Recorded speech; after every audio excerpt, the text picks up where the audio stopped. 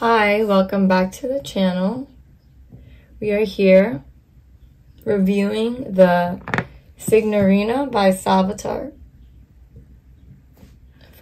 Hello, so we're going to be reviewing the Signorina Salvatore Ferragamo. This is the extra large size. And I just went ahead and sprayed some on my hand.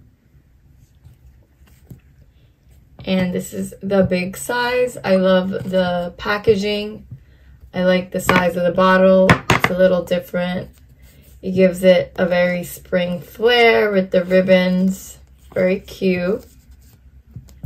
I like this round bow-like handle that the cap that comes off like this.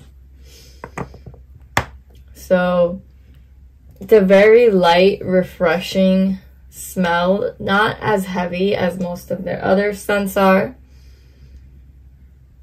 And I would highly recommend purchasing this.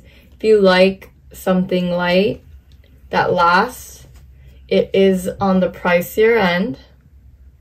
I actually got this at a sample sale. So I think the original price is close to 150 um, That's typically how much the Ferragamo perfumes go for. At the sample sale, I actually purchased this for $50. So it was a great steal. And it's been a few years that I've had this bottle. I love the smell.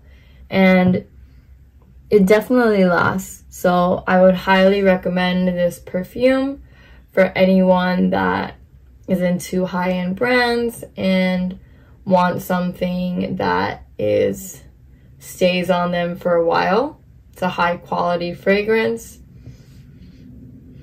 I'm smelling it, it's a little bit vanilla-y. There's some floral.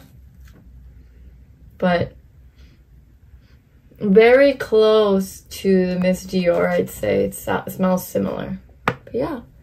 Um, thanks so much for watching. If you enjoy watching our videos, please do not forget to subscribe to the channel.